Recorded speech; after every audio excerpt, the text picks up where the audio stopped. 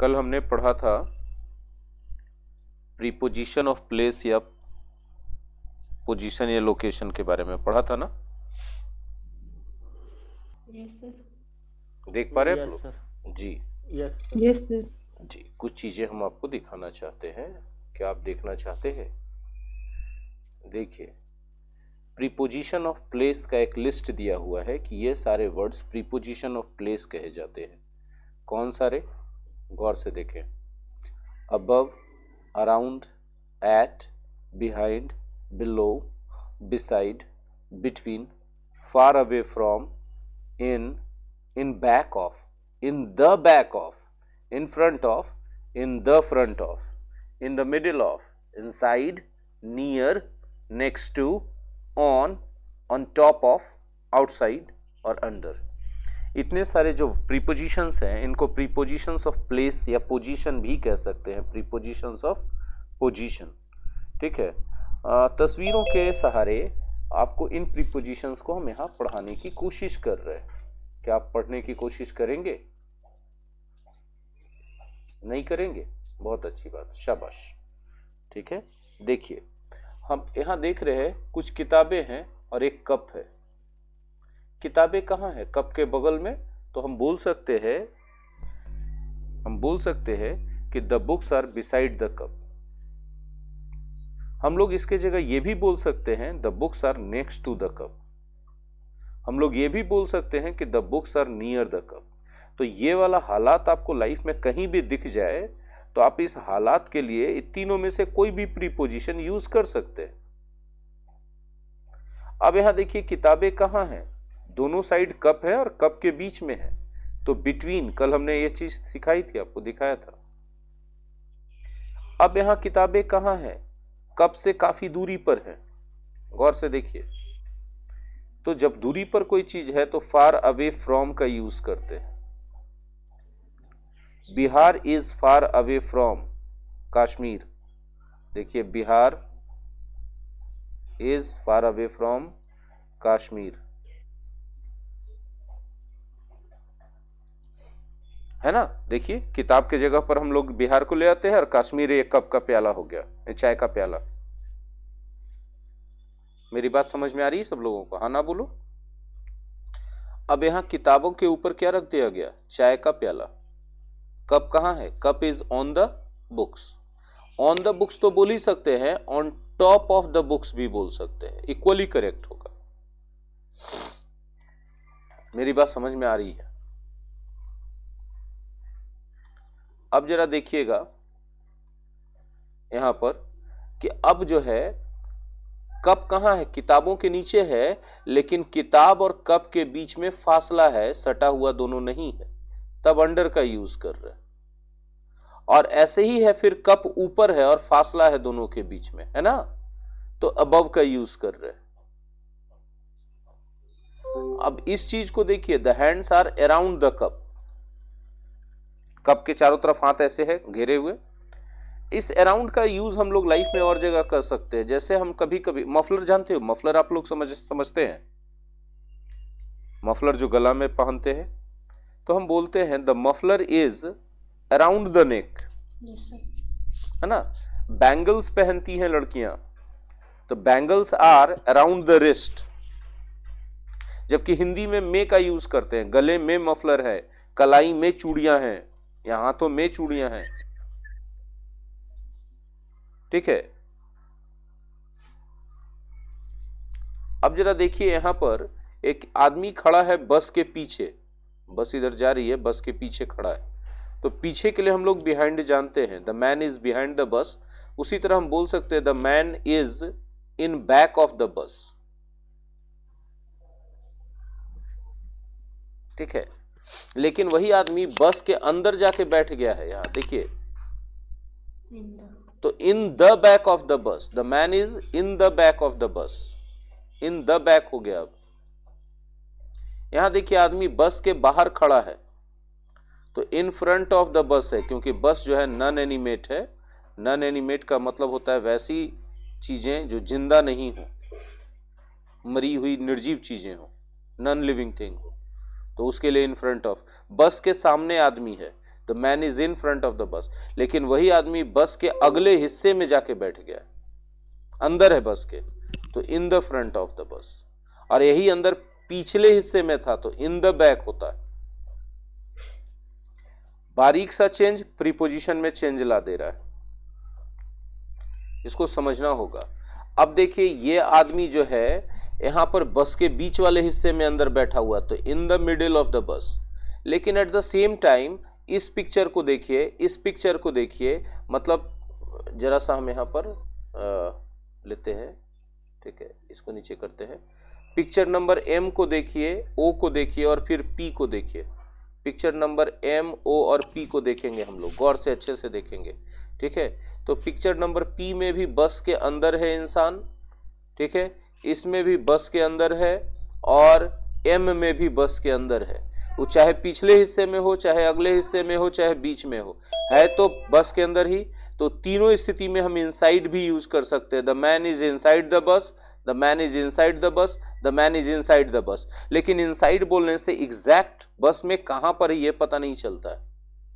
ठीक है? हाँ इन द इन भी बोल सकते हैं। बिल्कुल सही। The man is in the bus in the bus, in the bus inside the bus लेकिन अगर बताना हो पिछले हिस्से में है तो इन द बैक ऑफ़ बताना है कि अंदर तो है, लेकिन अगले हिस्से में है तो इन द फ्रंट ऑफ़ और बताना है कि बीच वाले हिस्से में है तो in the middle of the bus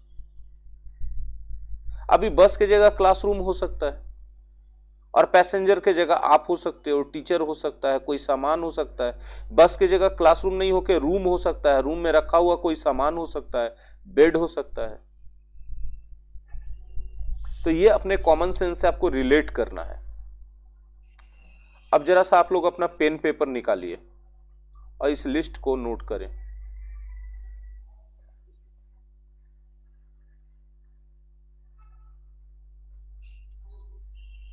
इस लिस्ट को नोट करें।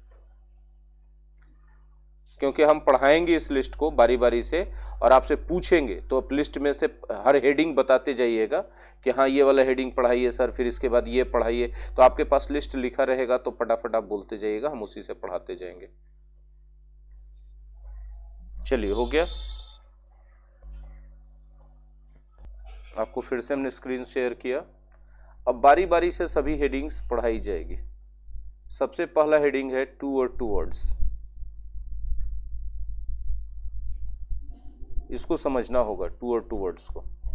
समझना चाहते हैं कि नहीं? बहुत आसान है। बहुत ही आसान है। ठीक है? देखिए, हम बहुत इजी वे में बता देंगे। यदि हम बोलते हैं हाँ जी thank you thank you ji. He is going to school going to school और एक सेंटेंस हम लिखते हैं he is going towards school he is going towards the school towards the school देखो जब हम बोलते he is going to school तब ये कहा जा रहा होता है कि वो स्कूल जा रहा है स्कूल इसका डेस्टिनेशन है यस सर राइट और जब हम बोलते हैं गोइंग टूवर्ड्स द स्कूल तो स्कूल उसका डेस्टिनेशन है कि नहीं है नहीं पता बट ये कहा जा रहा है in the direction of the school direction बता रहा हाँ। In the direction of the school towards का मतलब। कि जिस डायरेक्शन में स्कूल है उधर ही वो जा रहा है। तो टू और टूवर्ड्स में फ़र्क आपको समझ में आ गया? हाँ ना बोलो? यस सर यस सर चलिए चलिए नेक्स्ट हम लोग बढ़ते हैं। अगला हम लोग देखते हैं गौर करते हैं टू और फॉर ठीक है? गौर कीजिएगा, हम एग्ज़ाम्पल से बहुत इजी वे में समझाएँगे आपको।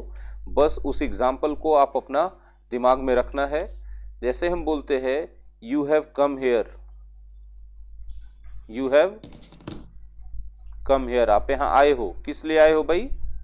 To learn English to learn English ठीक है? तो आप जरा गौर से देखो कि आप टू के बाद भी वन यूज़ कर रहे हो और आप पर्पस बता रहे हो यहाँ आने का। हाँ या ना? अपने आने का पर्पस बता रहे हो कि किस पर्पस से आए हो? तो सीखने के पर्पस से। ठीक है? अब देखो फॉर्क से कैसे होगा। You have come here. You have come here. किस पर्पज से आए हो? फॉर नॉलेज नॉलेज नॉलेज के पर्पज से आए हो। लेकिन नॉलेज क्या है? अच्छे से देखो नॉलेज वर्ब नहीं है। नॉलेज क्या है? एक नाउन है। नाउन है सर तो यहाँ फॉर के साथ नाउन आता है। ये भी पर्पस ही बता रहा है। लेकिन पर्पस बताने के लिए जब नाउन का यूज़ कर रहे हो तब क्या लगा रहे हो? फॉर और जब. ईवन का यूज़ कर रहे हो तब क्या लगा रहे हो? टू मेरी बात समझ में आ रही है? Yes hmm. एक और एग्जांपल देखिए। मज़ा आ जाएगा। He was punished he was punished किस लिए? For telling a lie for telling a lie अब देखो यहाँ पर फॉर के साथ आपको बी फोर मिल रहा है। मिल रहा है ना? अब ये पर्पस नहीं बता रहा है रीजन बता रहा है। अच्छे से पढ़ के देखो। उसको पनिश किया गया। पनिश करने का कारण क्या था? झूठ बोला था उसने? यस सर तो हम लोग किस चीज़ की बात कर रहे हैं? फॉर के साथ बी फोर लगा के। रीजन की बात कर रहे हैं। पर्पस की नहीं। है ना? टू के साथ हम लोग first form of the verb use करते हैं पर्पस की बात करते हैं। फॉर के साथ नाउन यूज़ करते तो भी पर्पस की बात करते हैं लेकिन फॉर के साथ भी फोर यूज़ कर देंगे तब किसकी बात कर रहे होंगे? रीजन की। रीजन क्लियर है? यस सर आगे बढ़ते हैं हम लोग। हम लोगों ने तो पीछे हटना सीखा ही नहीं। हम लोग आगे बढ़ते हैं सिर्फ़। एट ऑन ठीक है? देखो। हम यहाँ पर दो बातें बताएँगे। आप सीख गए तो अच्छी बात है। सीखेंगे वाह वाह, क्या बात है। ये एट है। एट जो बताता है, वो नियरनेस बताता है। या क्लोजनेस बताता है। ठीक है? एक एग्जांपल आप देखिए, तब आपको समझ में आएगा सेंटेंस के फॉर्म में।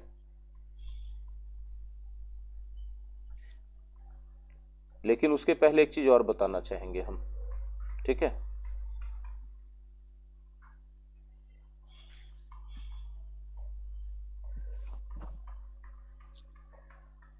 क्या बनाया हमने? टेबल। टेबल बना दिया। और टेबल पर हमने क्या बनाया? बॉल बॉल कुछ बना भी बोलो। दिया सरफेस पर है ना? अभी सरफेस के ऊपर रखा हुआ है ना? है ना? जी। हाँ। अब दो सेंटेंसेस हम दे रहे ठीक है? अच्छा एक और चित्र हमको बनाना चाहिए था ना? बेहतर वाला। लो आज हो जाए आज। आज? हुई जाए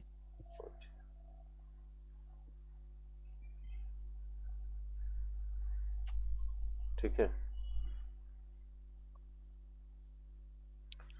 इसमें देखो ये पहले वाले पिक्चर में the ball is dot dot dot the table और इसमें देखो the ball is dot dot dot the table. Second वाले पिक्चर में कहा है? सरफेस पे है ना? हम्म, on आएगा। टेबल के सरफेस पे है रखा हुआ तब ऑन और यहाँ टेबल के सरफेस में नहीं टेबल के नियर है। तब एट एट आएगा। है ना? अब दो एग्ज़ाम्पल हम और दे रहे हैं उसमें हम कोई पिक्चर नहीं बनाएँगे कुछ नहीं बनाएँगे आपको अपना कॉमन सेंस लगाना होगा। दोनों में क्या होगा? ठीक है? एट होगा कि ऑन होगा क्या होगा आप सोचो ठीक है?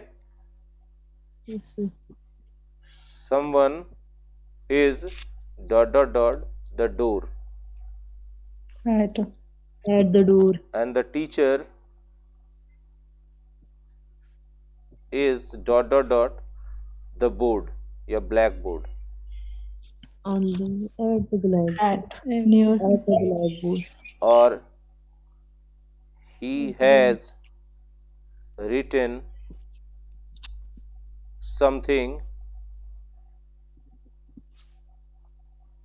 dot dot dot the blackboard On the the black board पक्का और क्या वाह वाह क्या बात है तो ये जो फ़र्स्ट है आपका someone is at the door क्योंकि वो डोर के नियर होता है। ठीक है? डोर पे लटका हुआ नहीं रहता उसके सरफेस पे। डोर है उस पर लटका रहता है क्या? कोई आता है तो। कि दरवाजे के नज़दीक खड़ा रहता है। और टीचर जो है बोर्ड के नज़दीक होते हैं और बोर्ड के सरफेस पे कुछ लिखते हैं। सॉरी उसमें ऑन नहीं ना होगा एट होगा ना? यहाँ पर तो। यहाँ यहाँ तो हमने गलती कर दी। मेरे किसी पड़ोसी के यहाँ नॉनवेज बन रहा है। एकदम खुशबू आ रही है एकदम। मस्त वाली। हाँ? ये क्लियर है सबको? चलिए। आज हो जाए आज। एट और ऑन के बाद हम बात करेंगे इन और इनटू की। आप बात करोगे कि नहीं करोगे? यस सर आज हो जाए तो आज। आज अच्छा topic hmm. He is the room in the room in नहीं पता हमको। आप ही लोग जो बता दोगे मान लेंगे। He come he came into the room.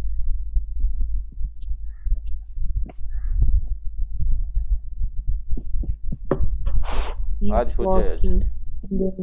बताइए। क्या बोलिएगा? पहले को में पहले में इन सही है दूसरे में? into हम्म सही है। तीसरे में? इन the वाह वाह क्या बात है। ज़बरदस्त हो आप लोग लेकिन मानना पड़ेगा। ठीक है। भयानक हो तुम। उफ। अप डाउन स्टूडेंट इसमें भी बताने की ज़रूरत है क्या अप एंड डाउन में?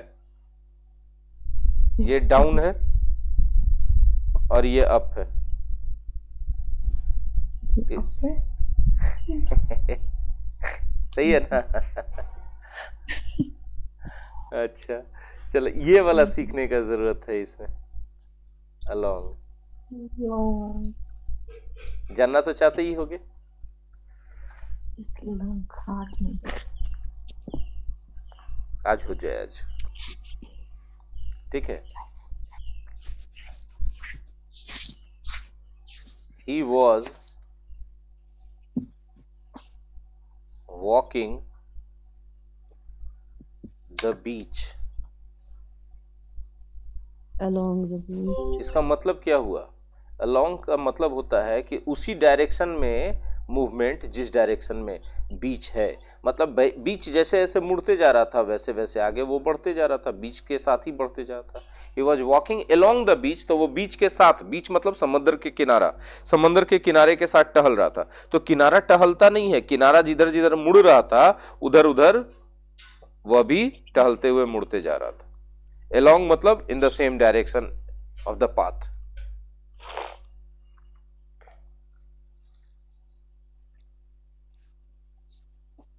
across across पता है? सर और एक एग्जांपल दीजिए अच्छा ठीक है ठीक है ठीक है।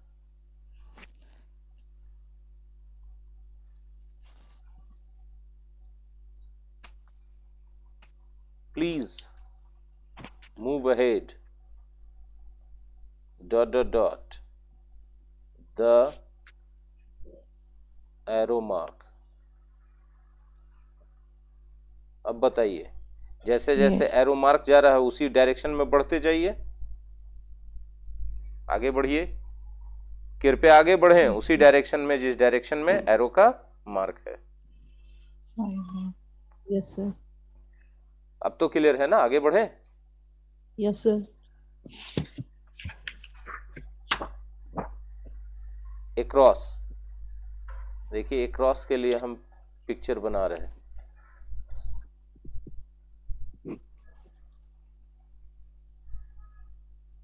समझ पाए?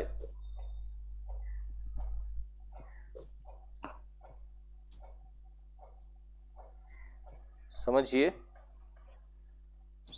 ये जो ज़मीन है two sir two two dimensional area है ना? और उसमें मूवमेंट हो रहा है, एक तरफ़ से दूसरी तरफ़, तब एक क्रॉस है। जैसे example he ran dot dot dot the field ठीक है? He swam dot dot dot the river. ठीक है? मतलब वह दौड़ करके फ़ील्ड के मैदान के उस पार चला गया। ही रैन अक्रॉस और वह तैर करके नदी के उस पार चला गया। तो नदी हो चाहे मैदान हो, फ़ील्ड हो, वो टू डायमेंशनल एरिया है।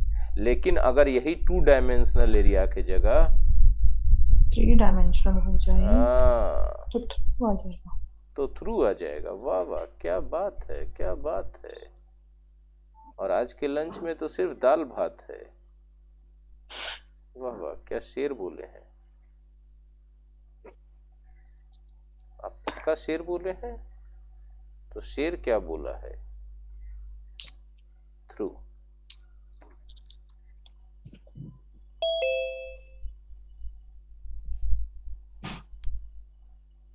देखिए he went dot dot dot the forest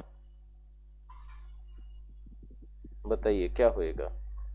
through forest का ज़मीन हो गया एक्स वाई एक्सिस और पेड़ हो गया जेड एक्सिस जैसे तीनों एक्सिस आ गया तो थ्री डायमेंशनल होगा कि नहीं हो गया? बोलो। अच्छे से साफ़ से लिखेंगे, थोड़ा अच्छे से नहीं लिखाया था। है ना? थ्रू हम लोग फिगरेटिव सेंस में भी यूज़ करते हैं। He is passing through a crisis is passing through a crisis मतलब? वो गुजर रहा है। किससे होके गुजर रहा है? बुरे दौर से। पूरी दूर द सेकंड कौन सी सेंस थी? फिगरेटिव सेंस इसको कहते हैं। फिगरेटिव सेंस का मतलब होता है कि आपको वो एग्जैक्टली exactly वैसा नहीं दिखता है, वैस, उसके जैसा है। अब जैसे आप थ्री से होके गुजर रहे हो तो वो एक एरिया है जहाँ से होके आप जा रहे हो। तो क्राइसिस भी लाइफ का एक फ़ेज़ है जहाँ से होके आप जा रहे हो। तो इसको फिगरेटिव कहते हैं। अच्छा कभी कभी किसी की, किसी के बारे में बोला है? तुम्हारी आवाज़ बहुत मीठी है। बोले हो कि नहीं बोले हो? हाँ। हाँ ठीक है। तो जब तुम ऐसा बोलते हो तुम्हारी आवाज़ बहुत मीठी है तो तुमने उसके आवाज़ को मुँह में लेके चखा था क्या? नहीं। फिर भी तुमने मीठी कहा ना? हम्म। यस एक्चुअली मीठा तभी पता चलता है जब मुँह में लेते हैं। लेकिन उसके आवाज़ को तो मुँह में लिया नहीं था फिर भी मीठा बोला। तो ये जो मीठा का फिगरेटिव यूज़ है। ओके। बात समझ में आया? हम्म यस उसका दिल पत्थर के जैसा है। उसके दिल को थोड़ा से मार के चेक किए थे क्या? कि पत्थर के जैसा है? हाँ नहीं ना? लेकिन हाँ पत्थर भी हार्ड होता है। उसका उसके इमोशंस भी बहुत हार्ड और टफ हैं। वो जनरली सुनता नहीं है किसी की है ना? नहीं रिवर के अंदर से होके जाते तब थ्री डायमेंशनल होता है रिवर रिवर के पानी के ऊपर से तैर रहे होते उसकी गहराई से मतलब नहीं होती उस समय। ठीक है?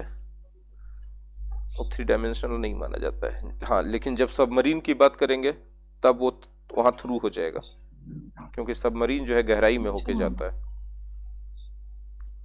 थर्ड डायमेंशन वो लेता है वहाँ पे रिवर का। ठीक है? तो हम लोग जब पत्थर दिल बोलते हैं तो वहाँ पर पत्थर दिल जो है पत्थर वो फिगरेटिव सेंस में यूज़ हो रहा है। उसका दिल पत्थर का नहीं बना हुआ है लेकिन हम लोग ऐसा बोलते हैं क्योंकि सिमिलरिटीज दिखती हैं। पत्थर से। पत्थर भी हार्ड उसका मन भी हार्ड बात नहीं मानता किसी का। फिगरेटिव समझ में आ गया होगा ना? यस सर चलिए। Against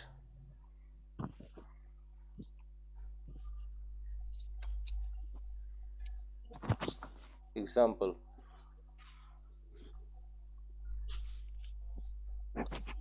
they are dot dot dot the government. मतलब वे सरकार के अगेंस्ट हैं खिलाफ हैं तो आप अगेंस्ट यूज़ करते हो तो खिलाफ का एक एक मीनिंग आता है। एक दूसरा और चीज़ है। एक दूसरा चीज़ है। देखो अच्छे से सेंटेंस को। द लैडर इज़ लैडर समझते हो? लैडर सीढ़ी को कहा जाता है। Kept dot dot dot the wall है ना? हाँ जी। मतलब लैडर कहाँ रखा हुआ है? अगेंस्ट द वॉल मतलब दीवार से सटा के। देखो इसका एक पिक्चर बना देते हैं। आज हो जाए आज। आज हो जाए। हम सोचते हैं कि एक अच्छा चित्रकार बन जाए हम। मज़ाक कोई नहीं उड़ाएगा पहले हम बोल दे रहे हैं ठीक है? ए कौन बच्चा हंस रहा है? कौन बच्चा हंस रहा है? कौन बच्चा हंस रहा है? गब्बर सिंह आएगा। नहीं हंसो गंदा बात। है? हाँ ये अच्छी बात हुई। ऐसी तारीफ़ करो टीचर की।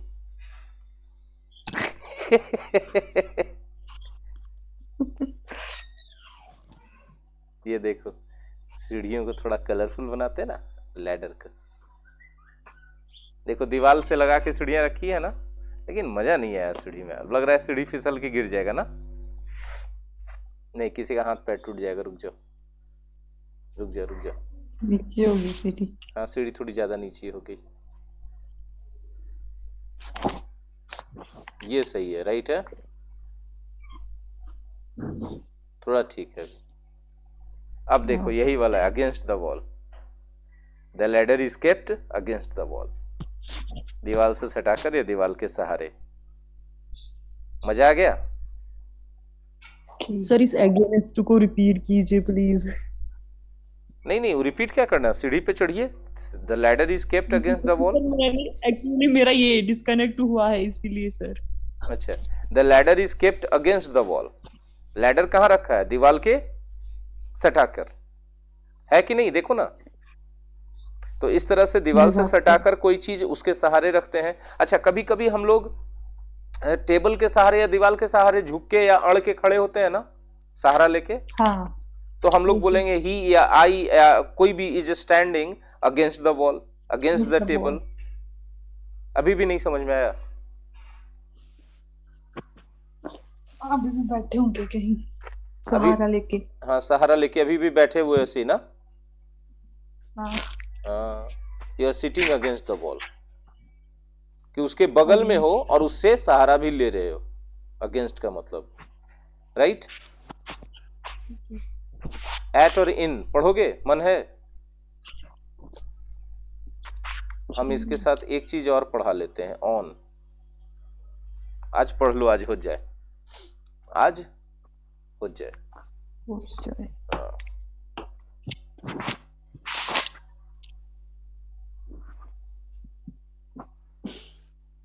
देखो एट क्लॉक टाइम के साथ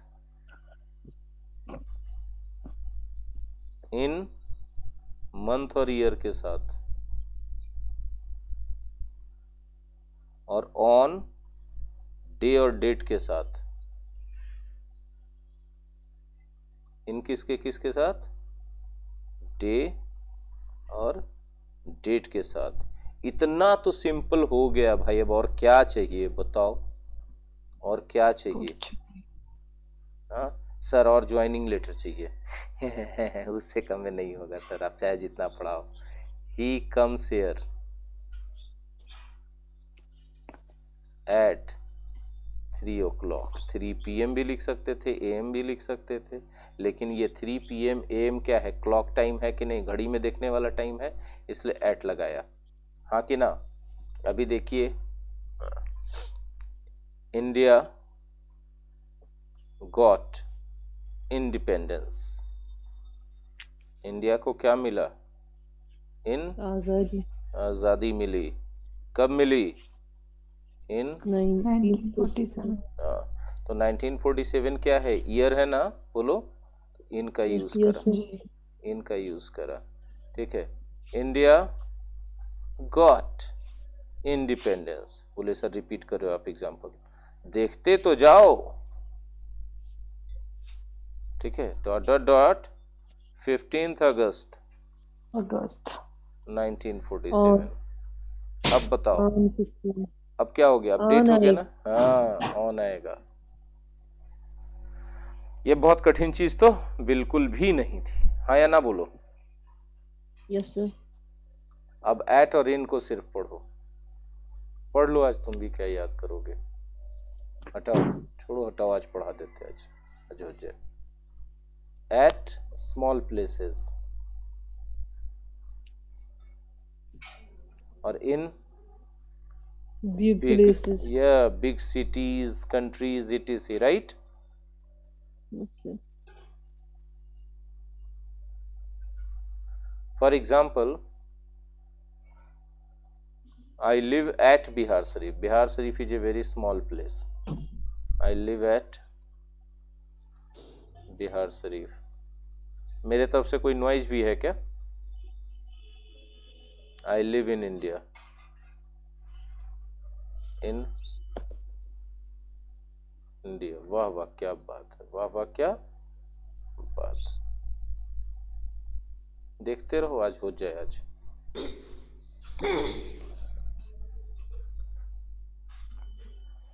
आगे जो मेरा मन है पढ़ाने का, वो है बिहाइंड और after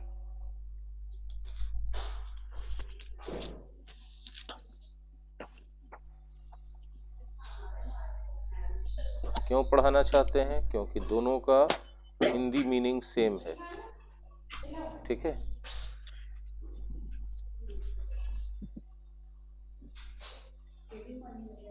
he was standing the curtain. वाह वाह वाह वाह। वाह वाह, क्या आवाज़ें आ रही हैं? वाह वाह, क्या आवाज़ें हैं? जिनकी तरफ़ से आवाज़ें हैं, वो म्यूट कर दें। जिनकी तरफ़ से आवाज़ें हैं, वो म्यूट कर दें।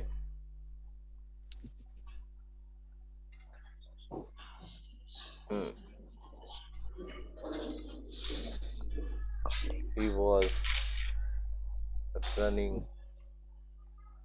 Dot dot dot dot dot dot. Her. First में बिहाइंड बिहाइंड आए। सेकंड में आफ्टर आफ्टर क्यों? क्योंकि मूवमेंट मूवमेंट है sir yes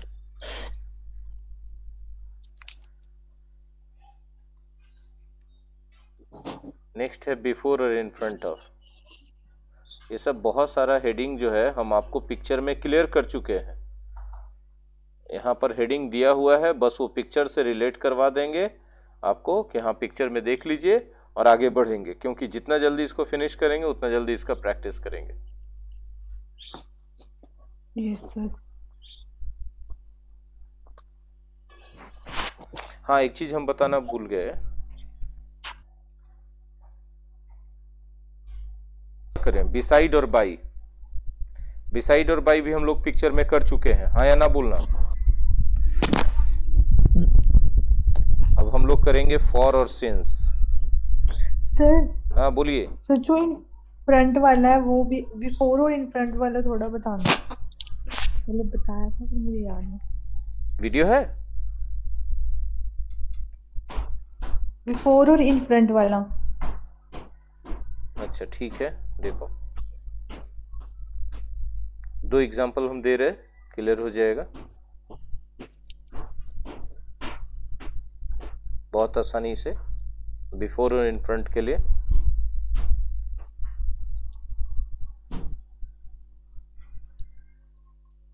They are sitting dot dot dot, us she was standing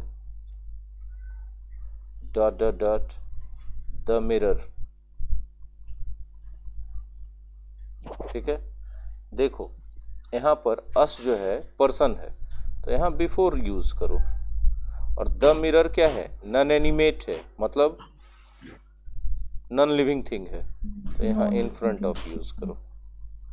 बोलचाल में लोग पर्सन के सामने भी इन फ्रंट ऑफ़ यूज़ कर देते हैं लेकिन ये गलत है। कतार में रहेंगे तो सब जगह बिफोर भी कतार में सही होगा इन फ्रंट ऑफ़ भी सही होगा। लेकिन कतार छोड़ के और कहीं भी पर्सन के सामने के लिए इन फ्रंट ऑफ़ यूज़ करना एकेडमिकली सही नहीं होगा। बोलचाल में तो तुम्हारा कोई नंबर नहीं काटने वाला है भाई। तुम जो भी गलत सलत यूज़ कर लो। है ना? जी। जी। और रही बात बिसाइड और बाई की। बिसाइड होता है के बगल में और बाई होता है नज़दीक। बगल वाला भी नज़दीक है ऊपर वाला भी नज़दीक है नीचे वाला भी नज़दीक है। हाँ या ना बोलो? तो बाई जो है नियरनेस बताता है बिसाइड भी नियरनेस बताता है। बिसाइड एकदम बाई द साइड बताता है बगल में। और बाई क्या बताता है? क्लोज टू क्लोज टू तो कहीं भी हो सकता है। सिर के ऊपर। एग्जांपल दीजिए हाँ जी बिल्कुल देंगे। ठीक है।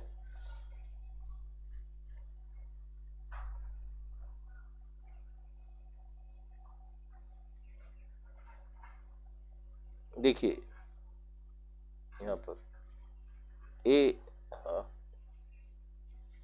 ये क्यों हो रहा है भैया? हाँ। A is dot dot dot B अब यहाँ पर ए और बी ए के ए कहाँ है? बी के बगल में है बी साइड है। नज़दीक में भी तो है। अब एक और एग्जांपल देखिए।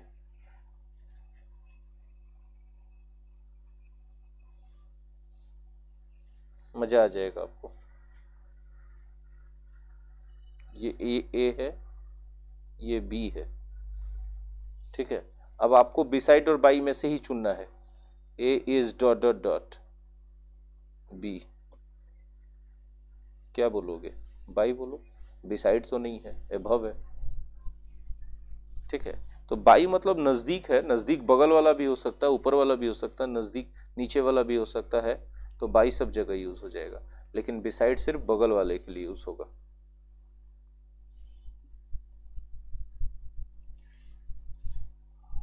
Hello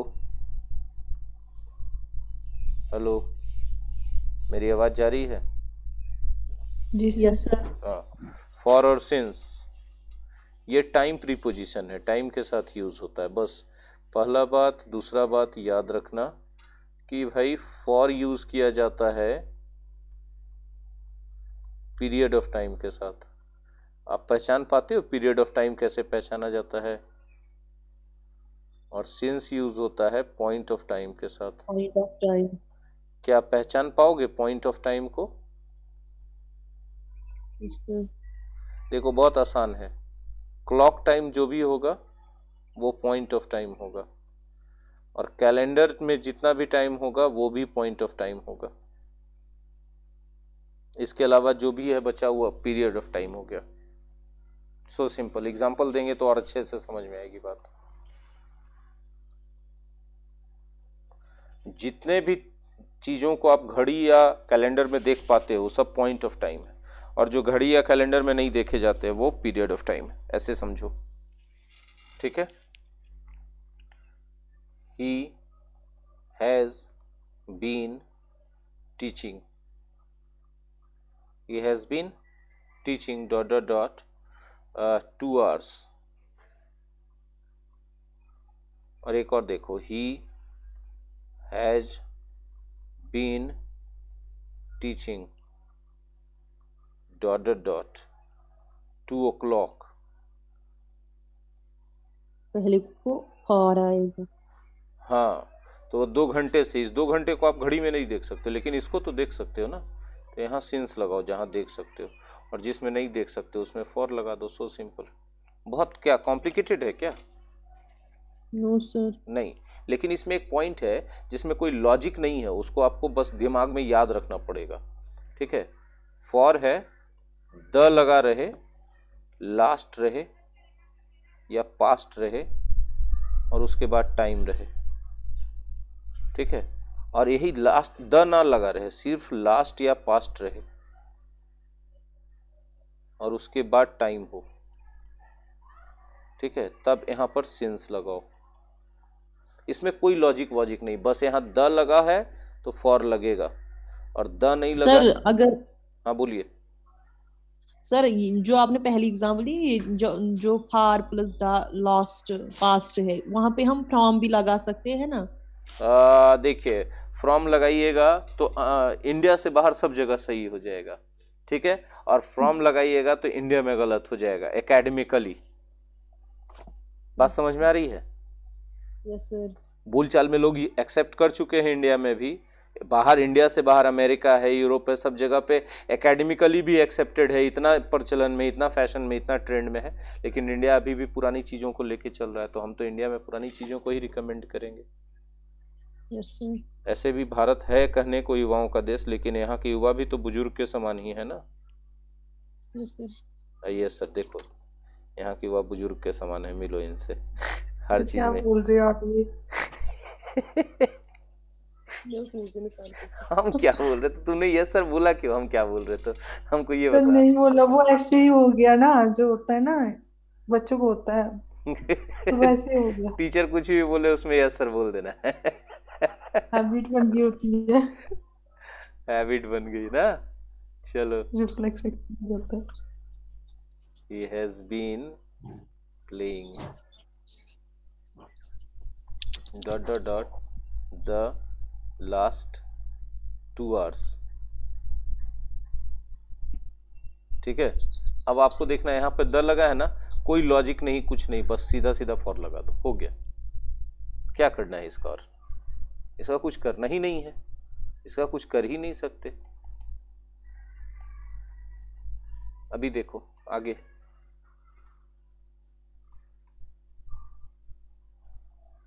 He's been playing for the last. हम्म, ठीक है?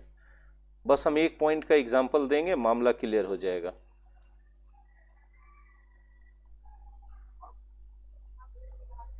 हाँ he will have been working here he will have been working here dot dot dot dot dot है ना? नेक्स्ट ईयर देखो अच्छे से कब की बात कर रहे हो? अभी की कि फ्यूचर की? फ्यूचर की सर फ्यूचर की। ठीक है? तब आपको कभी भी सेंस नहीं लगाना है। क्या लगाना है उसके जगह? फ्रॉम ठीक है। नेक्स्ट है फॉर और ड्यूरिंग सो सिंपल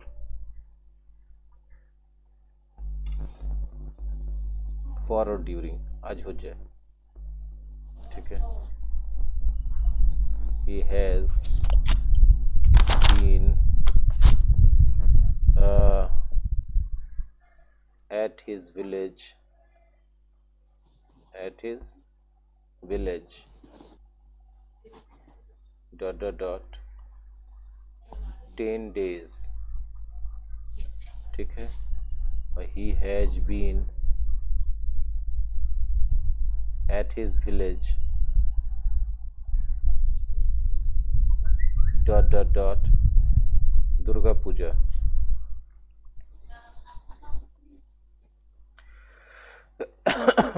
ठीक है? बताओ किसमें फॉर होगा किसमें ड्यूरिंग होगा। देखो ये फ़र्स्ट पी- ऑफ़ ऑल दूसरा हाँ ये पीरियड है ना? इतना तो पता है? इसमें फॉर लगा दो। ये भी दुर्गा पूजा भी एक दिन का नहीं होता है दस दिन का होता है ये भी पीरियड है। लेकिन इस ये period with a certain name है। हाँ या ना? जी। तब यहाँ ड्यूरिंग लगा दो। सो सिंपल कितना आसान तरीका हो गया जानने का।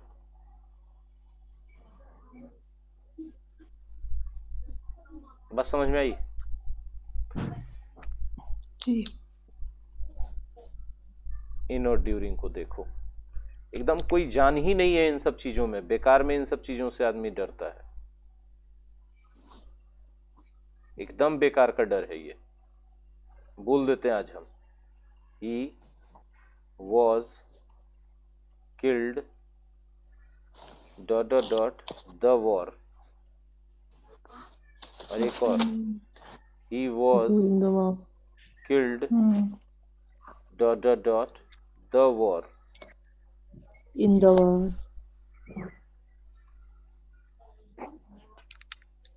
ठीक है अब जरा गौर से समझो हम इन लगा दें तो भी सही और ड्यूरिंग लगा दें तो भी सही। बोले कोई कोई भी फ़र्क नहीं पड़ेगा फ़र्क पड़ेगा। जब पड़ेगा। हम हाँ इन द वॉर लिखते हैं तो इसका मतलब है कि involve in the war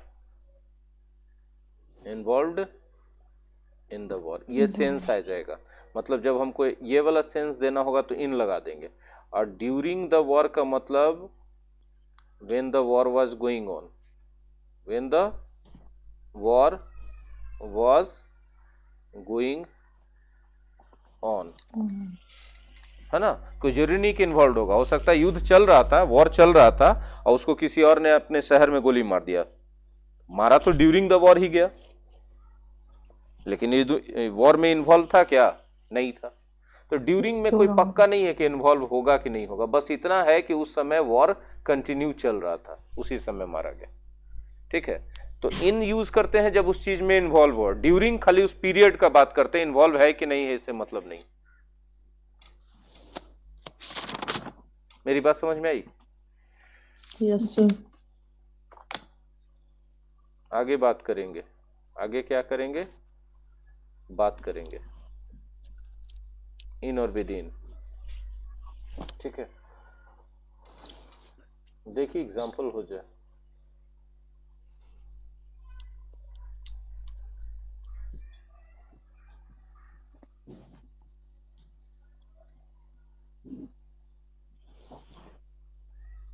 He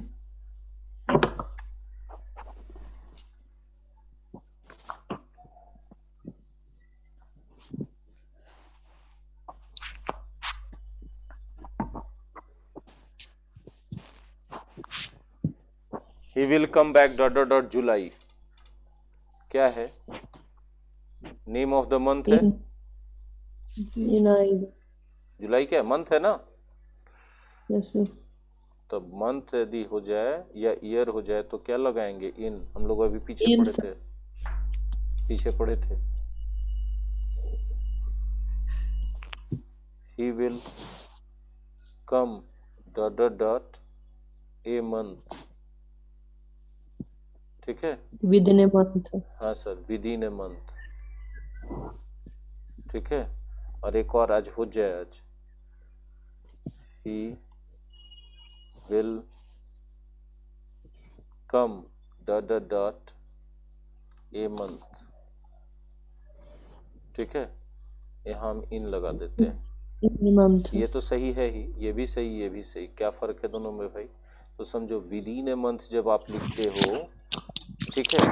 इसका मतलब होता है before the completion of before the completion of a month before one month finishes before one month finishes एक महीना खत्म हो उससे पहले ही।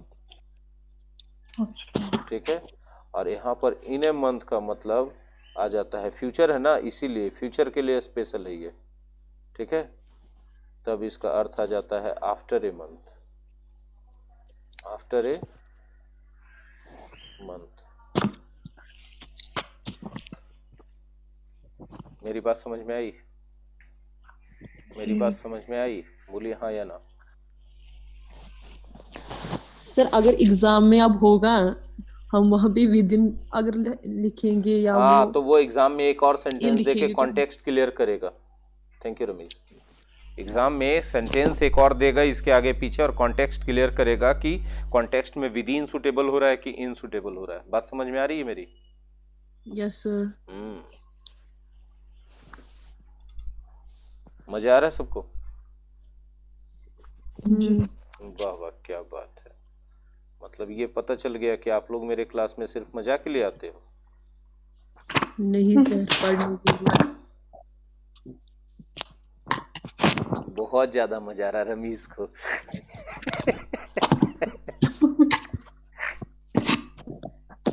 रमीज को बहुत ज़्यादा मज़ा आ रहा है। एक्चुअली ना सर मैं थोड़ा बिज़ी हूँ पाँच छह दिन में फ्री हो जाऊँगा इसलिए म्यूट ही रहता हूँ सर। अच्छा। लेकिन अच्छा है टेक्नोलॉजी ना आप बिज़ी होते हुए पढ़ाई कर रहे हो राइट बिल्कुल सर बिल्कुल सर। हम लोग के जमाने में ऐसा नहीं था रमीज। और शीमू और रजनी, सब लोग सुने कि मेरे ज़माने में ऐसा नहीं था। जब हम स्टूडेंट थे तो लिटरली आपको मतलब क्लास में प्रेजेंट होना ही है फिजिकली वहाँ पे, तभी आप पढ़ सकते हो टीचर से। अभी कितना कन्वीनियंस है, कितना कन्वीनियंस है। टेक्नोलॉजी ने हमारी लाइफ को एकदम सही में, क्या बना सक, बोलते, बना दिया इस दुनिया को heaven but at the same time technology कुछ लोगों के कॉमा कॉमा मतलब टेक्नोलॉजी कुछ गलत लोगों के हाथ में चली गई है तो कुछ लोगों की लाइफ हेल भी बन रही है टेक्नोलॉजी के कारण। अब यही मोबाइल और इंटरनेट का यूज़ करके अनाप शनाप चीज़ें भेज देते हैं लोग, किसी को व्हाट्सएप पे या फिर किसी का अकाउंट हैक कर लेते हैं। तो गलत तरीके का, गलत दिमाग और गलत सोच वाले इंसान रहेंगे, वो अच्छी चीज़ों को भी गलत बना के रख देंगे। कोविड नाइन्टीन अच्छा कोरोना। हाँ कोरोना भी टेक्नोलॉजी का गलत यूज़ का नतीजा है। सही बोल रहे हो आप। बिल्कुल सही बोल रहे हो आप। वो तो बहुत बड़ा चीज़ हो गया ना। छोटे लेवल पे भी देखो। टेक्नोलॉजी क्या है? ये सब टेक्नोलॉजी एक दूसरे से कांटेक्ट करने के लिए। लड़कियों का नंबर लेके परेशान करना शुरू कर देता है। हासिल कुछ नहीं होना है। इससे इमेज खराब ही होगा रेपुटेशन खराब ही होगा लेकिन करेगा। क्योंकि सोच ही वैसी है उसकी। तो डिपेंड्स अपॉन थिंकिंग हाँ डिपेंड्स अपॉन थिंकिंग बिल्कुल सही आपने कहा कि टेक्नोलॉजी बनाया गया अल्टीमेटली सोच के कि सबका अच्छा हो। लेकिन कुछ गलत हाथों में चला जाता है फिर उसके बाद तो फिर हेल हो जाता है एकदम। चलिए इन और आफ्टर को देखते हैं। ठीक है?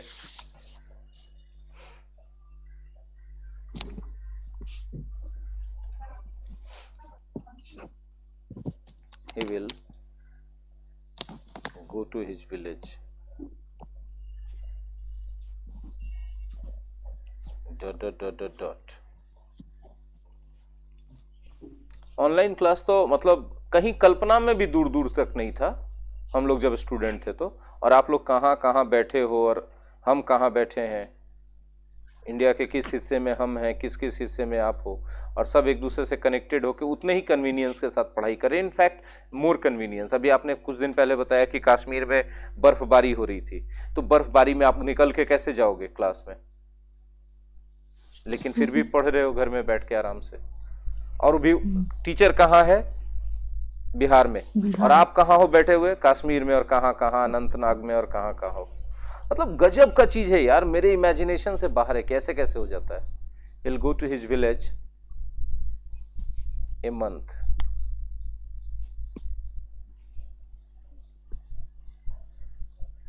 he went to his village. Dot dot dot. A month. ठीक है?